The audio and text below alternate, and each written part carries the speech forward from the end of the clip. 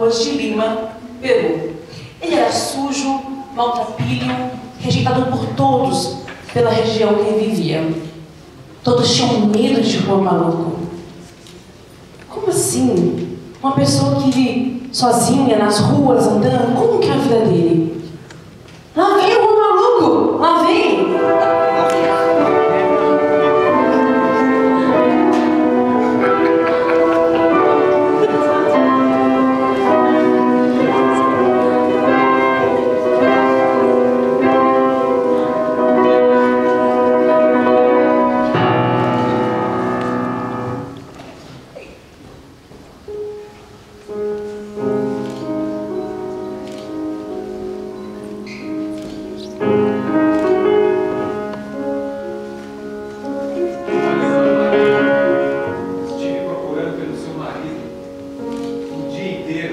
Finalmente encontrei. Onde você estava, Juan, por dias a gente tem te procurado. Já faz anos, irmão Francisco, que meu esposo soube, todos o chamam de Juan maluco por causa disso. Oh, meu Deus, porque simplesmente o senhor não deixa o Juan morrer. Não se preocupe, dona Maria. Ele está aqui agora com você. Gostaria muito de fazer um convite, Juan. Vamos à igreja comigo? Então vamos lá. Deus quer salvar. E Deus também queria salvar o maluco.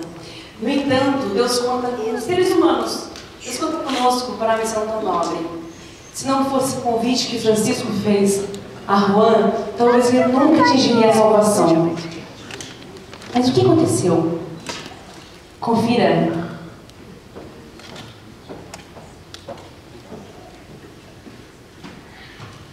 Meu Deus, Senhor me salvou. Mas, mas essas roupas, esse mau cheiro, eu preciso trocar de roupa, tomar um banho, cortar o cabelo. Que bom que Jesus te curou. Vamos, estou feliz com isso. Deus é poderoso. Quem é transformado por Jesus não fica quieto. Quem é transformado por Jesus tem a sede de levar outras pessoas consigo. E foi exatamente isso que Juan Maluco fez.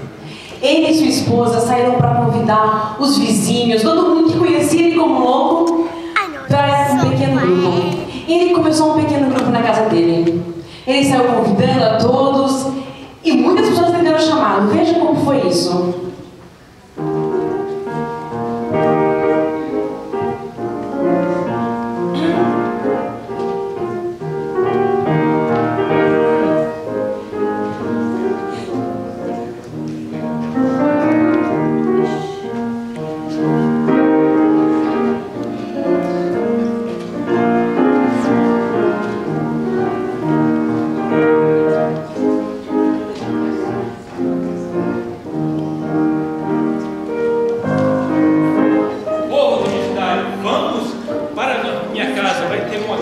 Lá, um pequeno grupo. Quero convidar a todos para ver a grande transformação que Deus pode fazer em sua vida. Venham, Deus mudou meu marido, pode mudar você também. O pequeno grupo na casa de Juan começou com 30 membros e se transformou numa grande igreja de 200 membros. Juan se transformou no fundador de igrejas lá em Lima, Peru. E muitas pessoas entenderam o chamado e novas igrejas foram abertas. No entanto, eles têm, dificuldades financeiras para construir igrejas. Então, as ofertas missionárias desse trimestre ajudarão missão, as missões na, em Lima, Peru, e ajudarão a estabelecer e construir novas igrejas como a que Juan ajudou a fundar. Vamos ser generosos nas nossas ofertas esse trimestre para ajudar outros Juans malucos a ser salvos por Jesus. Juan não é maluco, mas sim maluco por Deus. Amém.